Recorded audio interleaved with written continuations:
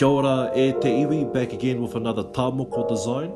Last time I was drawing on the back of my A3 book. I decided to draw the other side of the back, drawing it from the inside. I'm still exploring, experimenting with the idea of taking away the positive area of muko and showing more negative area of muko. Drawing this piece was interesting because I was able to create my own shape within the Pūhoro Kōwhai Ngutukākā design. Instead of the Pūhoro design wrapping around itself, I was able to leave room within that design or put a straight line to take away the curve shape. There was one point there where I changed the direction of where the Kōwhai Ngutukākā design was going to go, creating another shape.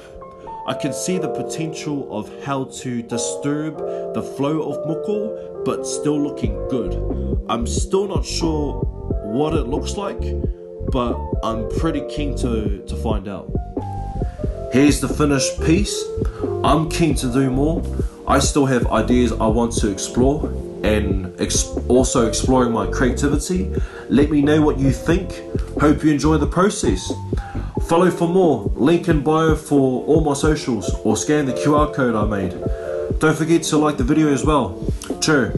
Have a good day, everyone.